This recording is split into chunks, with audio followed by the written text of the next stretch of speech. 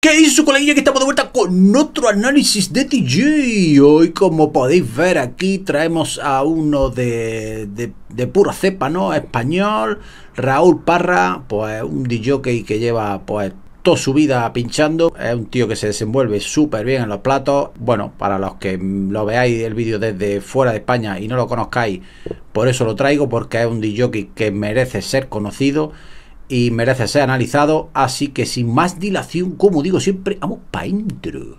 Bueno, como podéis ver, eh, pues la sesión está hecha con vinilos, pincha con tres vinilos casi todo el rato, es constante, no, no está pinchando con un disco y luego pongo otro y me dedico a tomarme cuatro cubatas y luego te pongo otro disco. O sea que el tío está currándoselo desde que empieza. Está pues con los tres platos, sube, baja, sube, baja y vamos a ir viendo por los truquillos que nos va que nos va a ir dejando a lo largo del set, ¿no? Le gusta mucho también juguetear con la con la Pioneer. Veis que aquí está pues bueno, jugando con el delay, ¿no? Haciendo un poco de redoble. Vemos que ya lo tiene mezclado, empieza a subir el canal poco a poco porque es la primera mezcla y no quiere arriesgar mucho. Vemos que le pega el empujón al plato con el típico truquito de apretar el 33 y darle al 45. Que eso solo se le ve a los que digamos son un poco más expertos en los platos. A los que, a las nuevas generaciones estas que las veis, que son nada más que de postureo, que pincha con dos CDJ y tardan tres cuartos de hora en mezclar un tema y, y que le empujan ahí con miedo y tal. Eso a la hora de, que tú veas a un DJ desenvolverse en los platos, simplemente de cómo cojan el disco, cómo lo pongan, cómo pongan la aguja, eh, cómo le empujen, como tal, ahí ya se ve el que realmente sabe y el que no sabe. Aquí vemos el cortecito que te mete ahí para hacer un silencio. Aquí nos mete otros cortecitos. Vemos que está jugando ahora mismo con las dos pistas. Ahora mismo está llevando los compases con la cabeza y vemos que eh, va a meter el tercer disco vemos que activa el filtro y justo cuando lo desactiva suelta el plato, ¿no? O sea que, está llevando como dos, eh, digamos, movimientos, dos acciones a la vez, que eso hay muchos de ellos que pinchan con platos que no lo hacen en su vida. Pero bueno, estos son los pequeños detallitos, los que te podéis fijando que se ve cuando un tío está curtido, cuando tiene más horas que, que un reloj en los platos. Aquí vemos que sube la tercera pista, ¿no? Ahora mismo tiene las tres platos ahí sonando. Vemos que el primer plato que estaba sonando ya lo ha bajado, ha dejado los dos siguientes. Aquí vemos que echa el disco para atrás para hacer el típico truquillo de backspin, ¿no? Es una pequeña, una pequeña demostración, ¿no? De, un truquele.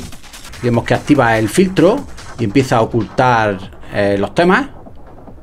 Vemos que hace una pequeña paradita mientras hace los cortes con la otra mano. Y justo cuando va a romper después del compás, pues apaga el filtro y ya entran por los dos temas. Aquí hace otro cortecito. Vemos que, es un hombre bastante inquieto en los platos y en la mesa. Ahí, ahí hace otro cortecito. Aquí vemos que aprovecha la parada del disco para hacer sus cortes con el tema que no tiene grave. Y aquí cuando ya va a romper después de la señal, ¿no? Que hace el disco que hace... Que te está diciendo que va a entrar ahora. Pues cataplum, pues lo, lo metes, ¿no? Aquí vemos que hace un pequeño corte metiendo el tercer plato y luego sube los, dos canales, como una pequeña inclusión, ¿no? Y aquí vemos que vuelve a juguetear con los, tres platos. ¿Veis? Aquí está haciendo cortes con los dos discos que no tienen el grave. Porque quiere hacer el chiqui chucu, chiqui chucu. Entonces, si tú lo haces con el canal que tiene grave, pues hace chiqui pum pum, chiqui pum pum. Entonces, como él lo sabe que el canal de aquí tiene el grave, pues ese lo baja, ya no se escucha y con los dos canales que se quedan arriba que no tienen grave es cuando, cuando empieza a juguetear. Chuc, chuc, chuc, chuc, chuc, chuc, chuc, chuc. Y luego ya cuando quieres, pues coge el otro canal y ya lo subes los, dos a la vez, ¿no? Aquí deja sonando uno de ellos, que es el que va a quitar.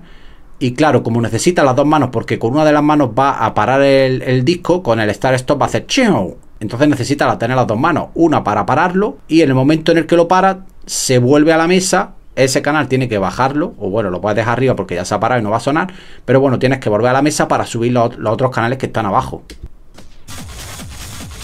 ¿Veis? Es como una transición diferente, veis que en cada, en cada mezcla pues está intentando hacer un pequeño truquito para que no sea toda la sesión igual. ¿Veis? Aquí vuelvo a hacer el back spin. Se le estaba yendo un poco, lo ha corregido bastante rápido.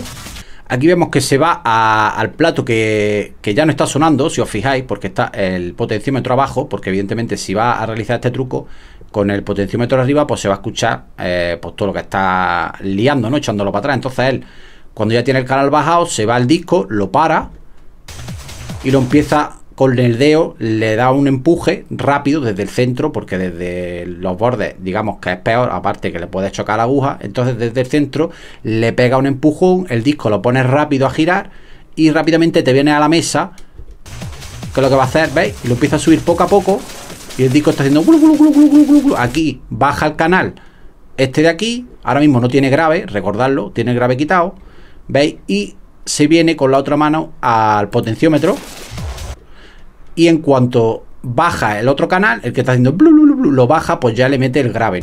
Realmente cuando ve a un tío pinchar, eh, pues con esa destreza, ¿no? Desenvolviéndose tan bien con los platos, sabiendo en cada momento lo que está haciendo, porque tiene mucha costumbre y mucha práctica, pues realmente se disfruta de una sesión así viendo cómo manipula todo, porque todo es, eh, digamos, exacto. Toca donde quieres, eh, no hay errores puede haber algún error porque estás pinchando con platos, te puede saltar, eh, se te puede ir en algún momento, corrige. Pero bueno, eh, digamos que para mí, para mi punto de vista, esto es un DJ de verdad. No lo que hoy en día lo llaman DJ que pincha. Pues todos con los CDJ que no hace falta mezclar ni saber nada de velocidades. Eh, realmente no conocen las mesas ni saben hacer ningún tipo de truco. Simplemente saben poner canciones que son pues hits del momento y eso sí, bailar, todos están apuntados a una escuela de baile en su barrio y todos saben bailar muy bien y todos saben animar a la gente extraordinariamente. Todo el mundo son unos showman, pero vamos, de lujo. Y en las redes sociales, en TikTok, en Instagram y todo eso se desenvuelven de lo mejor, ¿no?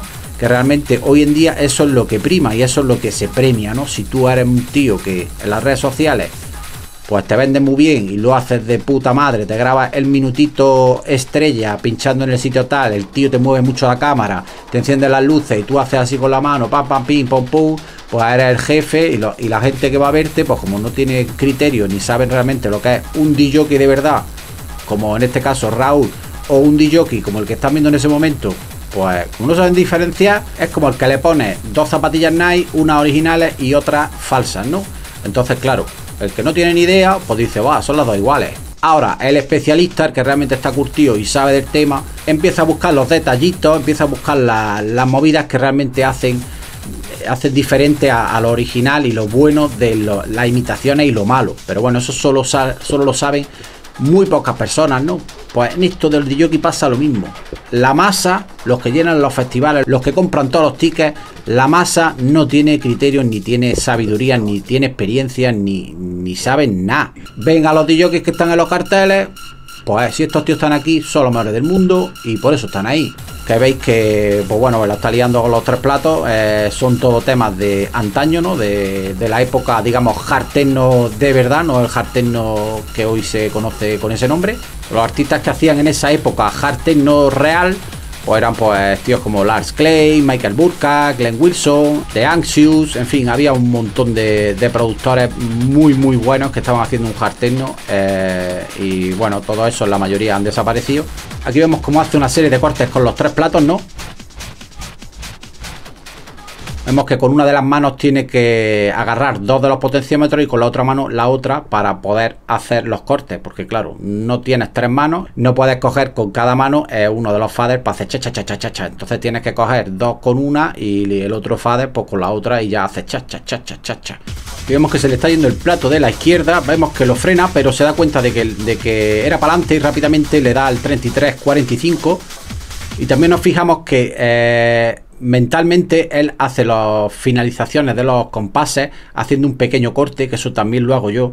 Eh, porque realmente cuando ya lleva mucho rato pinchando, eh, estás concentrado en, las mezclas y no sabes cuando, digamos, un tema ha empezado el, compás y no sabes si te va a encajar eh, con, digamos, las paradas, en fin, llevas lo que es los compases de, de las mezclas.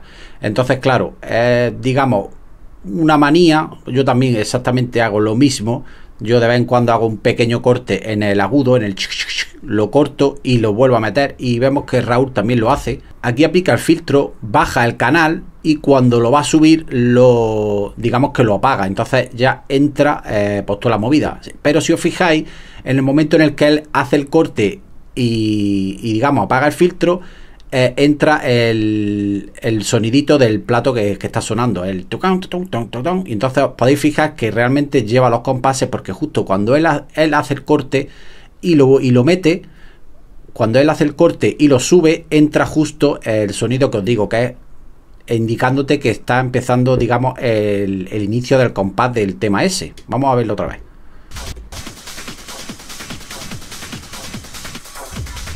¿Veis? Justo hace el corte y entra el tocado.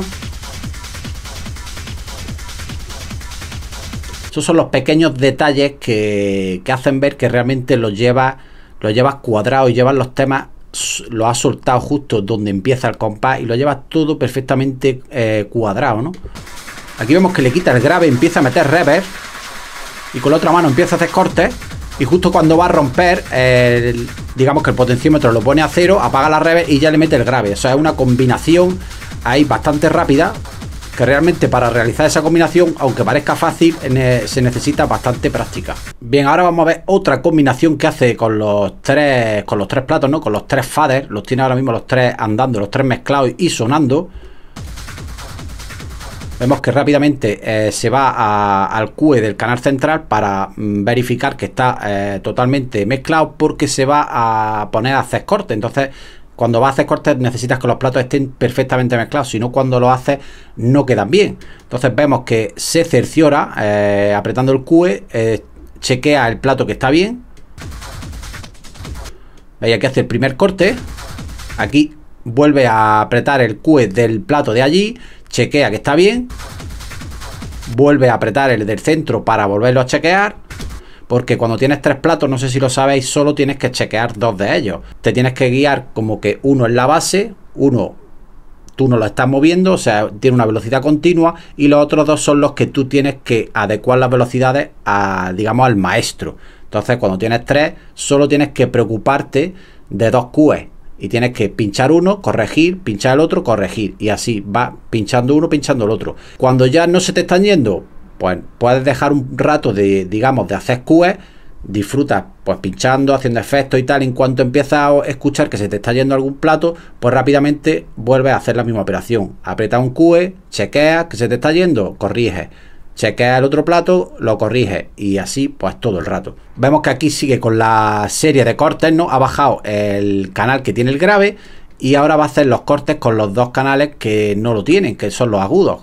Aquí empieza a hacer la serie de cortes, chun, chun, chun, y luego al final de la serie deja solo un canal sonando y en vez de hacer el chun chun charana, chun chun, deja uno sonando y hace, lo baja y hace chanana, pum, y ya los metes, pues si quieres dos canales o los tres a la vez. Vamos a repetirlo otra vez porque este, esta serie es bastante compleja.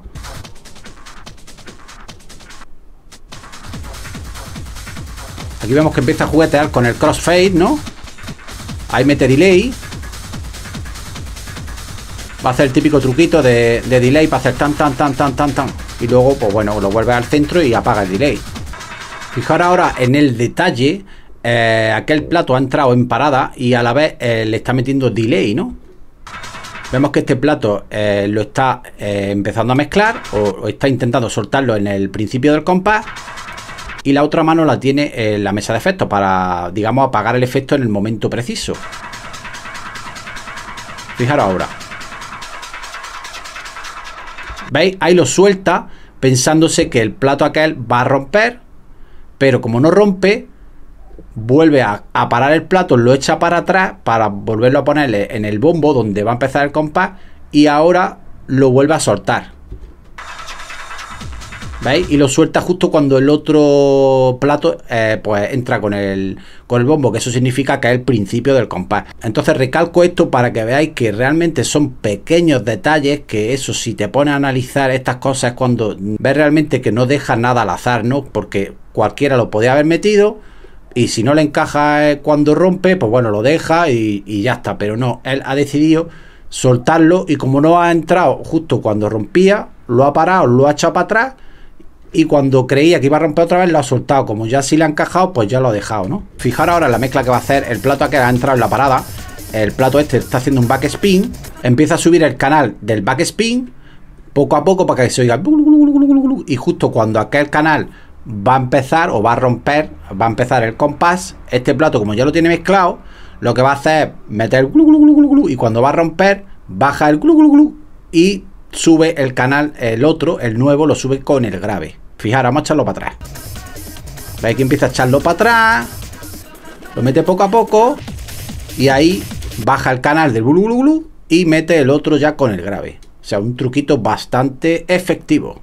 Ya me gustaría a mí ver a todos los que hoy día considero los mejores DJs del mundo haciendo estos, estos trucos, ¿no? Ahora fijaros el truquito que va a hacer, que este truco también lo hago yo y es bastante complejo, tienes que haberlo practicado, tienes que haberlo hecho muchas veces para que te salga, porque necesita un timing eh, bastante perfecto. Ahora mismo están estos dos platos sonando y este plato lo que va a hacer, que también están dando, lo que va a hacer es apagarlo con la ruedecita de esa que tiene el Technic lo apaga, entonces dejas de empujar el plato, deja de tener tracción y el plato digamos que empieza a caer. Tienes que apagarlo porque lo que quieres es con la mano darle un impulso para atrás para que el disco empiece a hacer y vaya andando lentamente hacia atrás. Entonces hace como un efecto de como un reverse.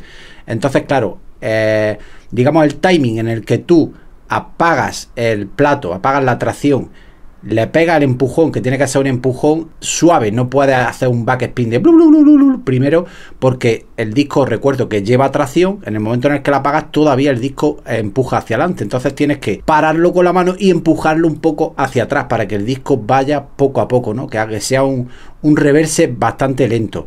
Entonces, en el momento en el que hace el reverse, eh, él ya se va a la mesa, sube el canal para que se oiga el y luego ya sube los otros dos para que rompan. Entonces, una vez explicado el truquillo, vamos a verlo. Aquí ya ha parado el disco, lo coge por fuera porque para hacer este truco tienes que empujar, eh, digamos, la plataforma, que es la que lleva la, la, inercia. Entonces tienes que cogerlo desde fuera porque si lo coges desde el centro, lo de abajo sigue rotando. Tú lo que tienes que hacer es que todo el motor ande para atrás. Entonces la mano la tienes que poner fuera y moverlo hacia atrás.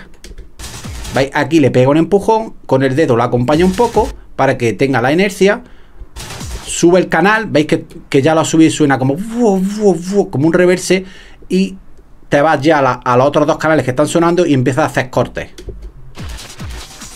¿Veis? Hace cortes, en uno de ellos, uno de los canales lo deja abajo y con la otra mano se va al canal del reverse para poder bajarlo. Y una vez que lo baja, pues ya sube en, los otros canales o el canal que tenía abajo, pues lo termina de subir. En fin, que es un truco, pues eso. Parece simple o el que lo ve así eh, de primera, pues no va a entender lo que ha hecho, simplemente va a decir, ah, pues no sé qué, pero este truco pues mm, conlleva un tiempo y un aprendizaje. Y bueno, los que pinchéis con platos, si no sabéis hacer este truco, pues la verdad es que es un truco bastante guapo. Así que os recomiendo que lo practiquéis en casa y nada, seguimos. Y bueno, hasta aquí el análisis de Raúl Parra. El set pues dura una hora y pico. Evidentemente no vamos a analizar el set entero. Eh, simplemente es pues, para que veáis realmente eh, lo que es un DJ de verdad pinchando, no lo que hoy os venden como DJ.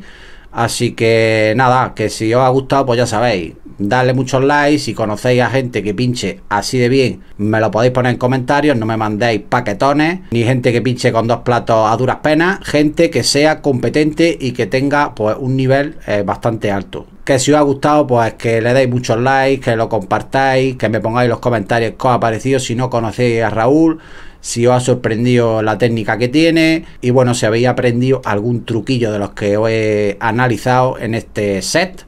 Así que nada, lo dicho, sus colegas, nos vemos en el siguiente. Suscríbete. Adiós.